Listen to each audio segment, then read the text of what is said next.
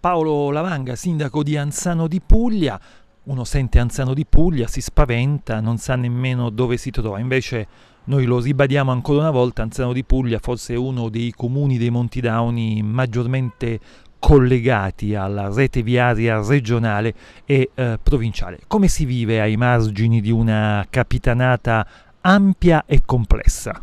Beh, noi nonostante le difficoltà eh, comuni a tutti gli altri paesi, quindi uh, la mancanza di lavoro, diciamo, eh, dire, possiamo dire che viviamo bene perché, come hai appena detto tu, sostanzialmente eh, ecco, diamo subito l'impressione di essere un paese ehm, eh, che vive all'interno eh, della, della, capitanata, ma invece ha la possibilità oggettiva di essere ac molto accessibile e ha la possibilità di collegarsi praticamente eh, sia alla Campania che alla regione Puglia. Noi siamo infatti a 8 km dall'uscita autostradale devo dire che le nostre arterie, eh, tranne diciamo qualche tratto, eh, non riversano in male condizione. E qui viviamo bene perché eh, questo è il periodo che forse meglio si apprezza vivere qui ad Anzano perché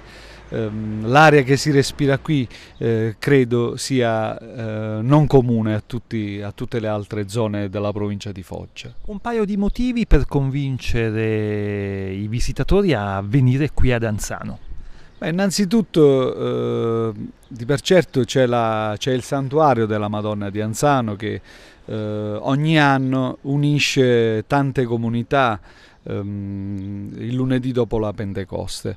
Però voglio dire, abbiamo un bel paesaggio, um, a breve uh, avremo la possibilità di consegnare al paese uh, un centro policulturale che ci darà la possibilità di parlare di turismo, uh, non solo per il comune di Anzano di Puglia, ma per tutti i Monti Dauni.